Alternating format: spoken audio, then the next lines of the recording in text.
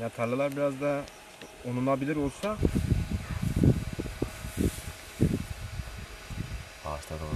Evet oradaki Şu an hali hazırda e, tarlaların durumundan dolayı traktörün girememesi veya traktör girdiğinde e, e, ayçiçeğine de büyük zarar vermesi hasebiyle e, drone daha etkili bir şekilde ezmeden, ürünlere zarar vermeden ilaçlamamızı yapacağız ve çiftçimizin başına bu sene musallat olan çayır çırçılından kurtarmayı hedefliyoruz.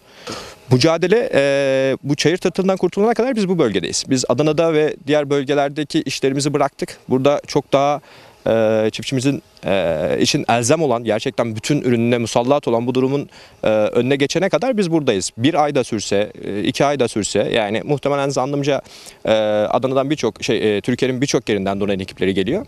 Zannımca e, 15-20 gün içerisinde bir, bayağı bir yer ilaçlanacaktır. Umarım bütün herkesin, bütün çiftçilerimizin tarlasından bu musallat bir şekilde önüne geçilir.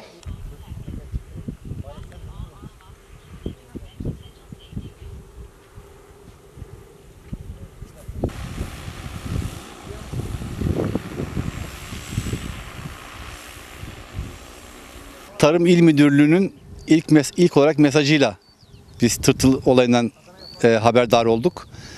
E, yan köydeki tarlamda gidip kontrol ettiğimde tırtılın var olduğunu ve çıplak gözle de kendisini gördük. O andan itibaren ilaçlama ile nasıl bir önlem alırız diye bir çalışmaya girmiştik. E, oradaki arkadaşlar drone getirtmişler. Deneme yaptılar. İlaçlama sonunda tırtılın %80 %90'ın öldüğünü gördük.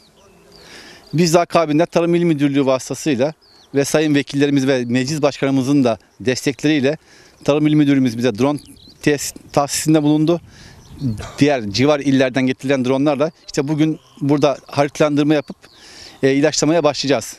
İnanıyoruz ki bu çalışmanın sonucunda bu ilaçlama bizi bu dertten %80-%90 kurtaracak.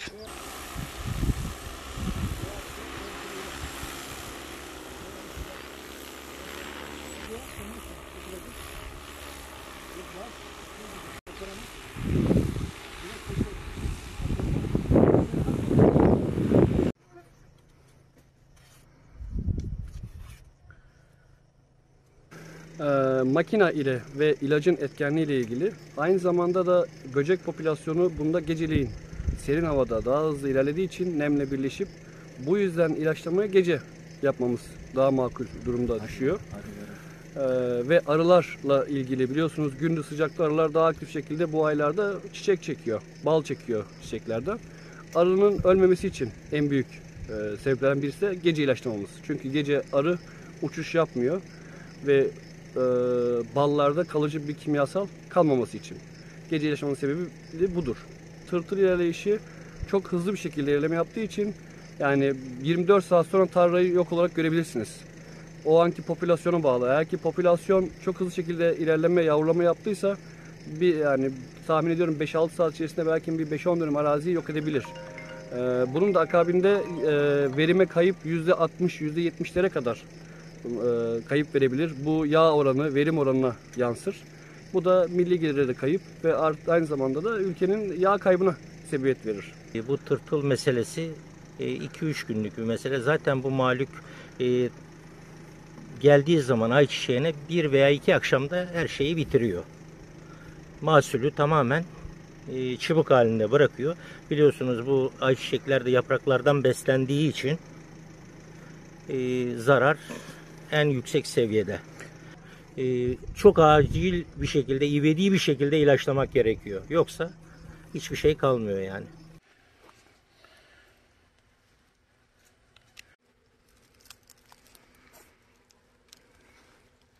Ahmet buralarda daha çokmuş. Daha çok ablasını Evet.